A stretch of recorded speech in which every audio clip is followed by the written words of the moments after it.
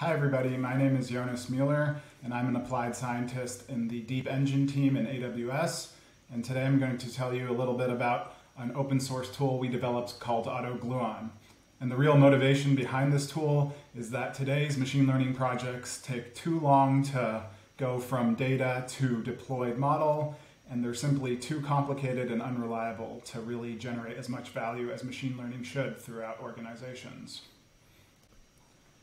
So AutoGluon is basically a Python library that is standalone on GitHub. You can run it on any hardware or in the cloud, and it enables easy to use and easy to extend automated machine learning across raw data sets spanning domains like tabular data, image data, or text.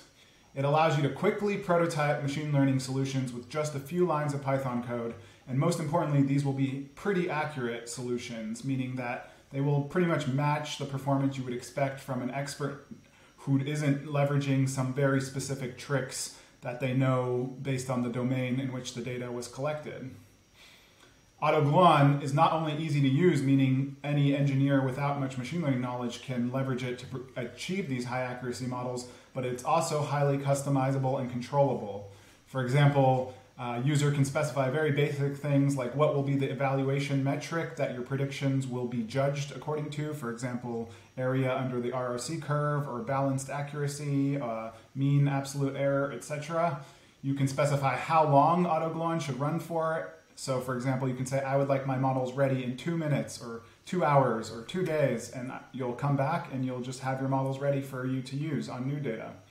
You can specify how much compute resources should be used uh, for each training job. So AutoGluon will start training many models on your raw data and it, you can tell it to use multiple GPUs or even multiple machines to do this training.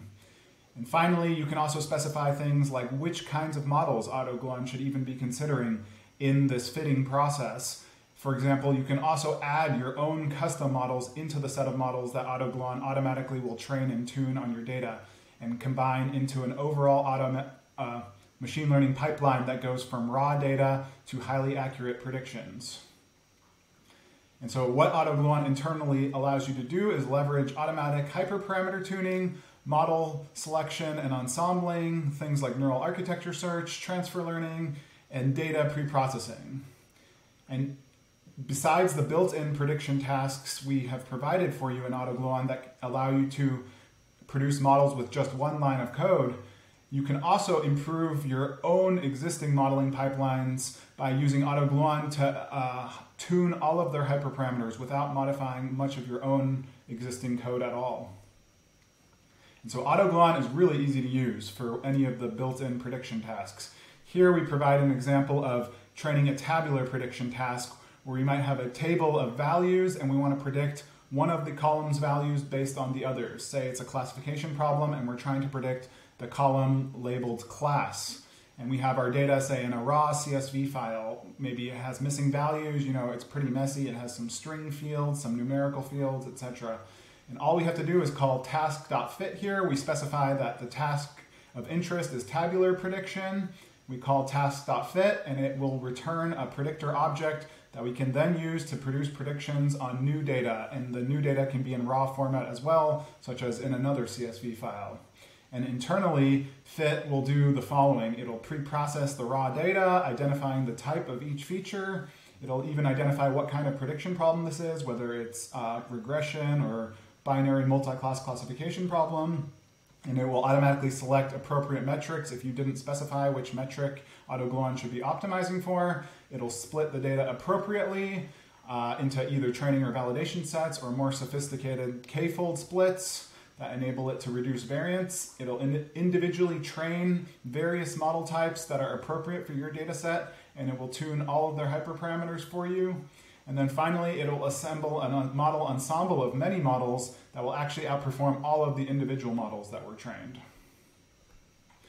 And so the built-in prediction tasks that we have provided in AutoGluon, which can each basically allow you to go from raw data to highly accurate models just using one line of Python code, basically a simple fit call, include uh, tabular prediction, so this is classification and regression tasks with tabular data, such as you might find in CSV or Parquet files or in Pandas data frames. And really, these tables can be quite messy, including missing values, even text or string fields, date times, etc. AutoGluon is really de- designed to just run on your raw data as long as it's formatted in a basic format suitable for machine learning here, meaning each row corresponds to one data point that's independent of the other rows, for example. Another prediction task is image classification, so classifying images into discrete categories. And here the raw images can be JPEG, uh, PNG files. The images can be of various sizes. Again, the emphasis is that AutoGluon's fit can really handle your raw data. And even if you don't have a huge label data set, you know, often training modern day convolutional neural networks from scratch requires very large uh, label data sets to get high accuracy. AutoGluon will actually do automatic transfer learning for you and thus can produce pretty high accuracy even if you just have a smaller labeled data set. Similarly, it can handle object detection tasks based on the same sort of data instead of image classification tasks, where here the goal is to actually locate where the object is in addition to classifying its category. And finally, AutoGluon can also handle text prediction tasks. So here, these include classifying or uh, classifying or doing regression on text fields, for example, sentiment analysis, where you're predicting how positive a particular chunk of text is, might be a regression task. Classification might be, for example, predicting which category a particular question belongs to, as well as many other natural language processing tasks for example, you can convert almost every task in the GLUE and SuperGLUE NLP benchmarks, these are very popular benchmarks, into a format that AutoGluon's text prediction module can produce models for in just one line of code. And one key feature here is that it can handle raw data sets that have more than one text field. For example, question answering or maybe scoring the similarity between two uh, paragraphs or two sentences. And again, internally, it will leverage automatic transfer learning such that you can get pretty high accuracy even with smaller labeled text data sets. And so first, I just want to give you a sense of the kind of performance you can achieve with AutoGluon. And here we're just going to concentrate on tabular data settings as these are perhaps the most common sorts of machine learning problems most companies face. And so here we ran two benchmarks. One was on this AutoML benchmark that has sort of been proposed by others as a standard benchmark by which AutoML systems should be evaluated. It has 39 data sets, and each data set is evaluated over 10 different training and test folds. So this is really a huge benchmark of 390 prediction problems. And then we ourselves curated a Kaggle benchmark uh, where we looked at 11 prediction contests and looked at the data from each of those. And these are really re uh, realistic modern day applications of machine learning because these are all uh, curated from different companies trying to solve real problems. Each data set has a very business motivated evaluation metric that is very uh, appropriate for that particular applied problem, and they span a variety of tasks like regression, binary, or multi class classification. And so here we fit a bunch of the most popular uh, AutoML tools to these data sets. Uh, for example, AutoSKLearn, TPOT, AutoWeka, H2O, uh, Google Cloud's AutoML tables, and AutoGluon. And so here, what we show on the y-axis is each uh, label corresponds to one of the Kaggle competitions. There were 11. And then the x-axis is showing the rank that we achieved on the final leaderboard of the competition, meaning how many human data science teams did each AutoML solution outperform. And so being to the left means the uh, system performed better. And we ran all these systems on the exact same hardware with the exact same runtime limits. And so of note here is that AutoGluon on two of these data sets, namely the BNP Paribas competition and Otto Group competition, actually, after just four hours of training on the raw data via a simple fit call, like I mentioned before, outperformed 99% of the human data science team's entries in these competitions. And as you can see, it also clearly outperformed all of these other AutoML systems on the majority of data sets. Here we perform a similar comparison of AutoGluon against the other AutoML tools, this time on the 39 datasets from the AutoML benchmark shown on the y-axis. And here on the x-axis, we're showing the loss achieved on the test data by each system relative to AutoGluon. So we divide the, each system's loss by the uh, loss achieved by AutoGluon's predictions. And so here, systems to the left outperformed AutoGluon on a particular data set, whereas systems to the right of the line at one uh, performed worse than AutoGluon on a particular data set. And it's pretty evident that the majority of systems were worse than AutoGluon on the majority of data sets by a significant margin. Next, we also counted in this AutoML benchmark just how many data sets did each system perform better or worse than AutoGluon. That's what's being counted in the wins and loss column here in this table, as well as the champion column, which counts on how many data sets was each system better than all of the other systems combined. And finally, we also looked at the failures column, which counts on how many data sets did each system fail to produce valid predictions for some reason. Either it might have had some sort of error while training on the raw data because maybe it was too messy, or it threw some kind of error during inference, maybe it ran out of memory. All sorts of errors could have happened for various reasons. And what we can see from this table is that on over half the data sets where all systems ran successfully, AutoGluon outperformed all of the other systems combined, which is a really great result. And in head-to-head comparisons with any of the other AutoML systems, AutoGluon is much more accurate. Also, AutoGluon did not fail on any of these datasets in the AutoML benchmark, unlike any of the other AutoML systems, which all failed to handle at least a few of these datasets. So there's many existing AutoML frameworks beyond the ones I mentioned. So there's a huge number of open source ones that are really sort of the leading frameworks and the most popular in the current uh, AutoML user community, and then there's recently a bunch of cloud AutoML systems, such as the Google Cloud AutoML's table system we previously described, and one developed by AWS called SageMaker Autopilot. Azure has one called Azure ML, etc. And so one key difference here from between all these systems and AutoGluon is that these other AutoML frameworks, A, really don't consider modern deep learning that much. So most of these systems Maybe they use, you know, scikit-learn's neural network implementation or some very basic neural network implementation that really isn't using the modern day best practices in deep learning.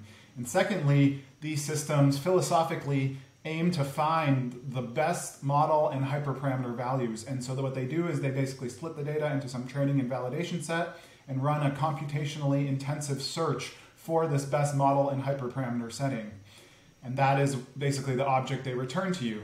Instead, AutoGluon relies on uh, strategies that are known to win prediction contests, which include model ensembling via multi-layer stacking. So this is what's shown in the figure on the right, where you have your input, it gets passed into multiple independently trained models, which then output their predictions, and then those predictions are fed into higher layer stacker models that continue uh, producing even better predictions. And so these kinds of model ensembles can be much more accurate than single models. AutoGluon focuses much more on data pre-processing, which is often somewhat of an afterthought in some of these other AutoML frameworks. It emphasizes repeated data splitting to reduce variance in the fitting process through bagging. And as I mentioned before, it uses more modern deep learning techniques.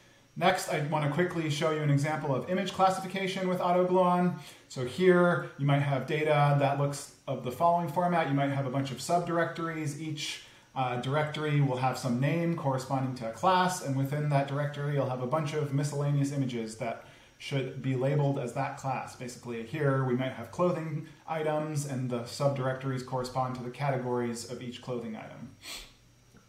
And this is, again, all the code you need to uh, handle an image classification task. It is very similar to what you needed to handle the uh, tabular prediction task, really the only difference here is that you specify image classification is your task of interest. And again, you just call fit on your uh, data set object that contains these raw images. And then you can use the returned object from fit to produce predictions on your test data. And so how AutoGluon's fit for image and text data works is a little different than for tabular data. So again, it'll automatically under the hood pre-process the raw data and split it into training and validation sets. Then it'll optionally apply appropriate data augmentation strategies which are critical to boosting performance. Additionally, it'll optionally load an appropriate pre-trained network from either Gluon NLP for text data or Gluon CV from, for image data.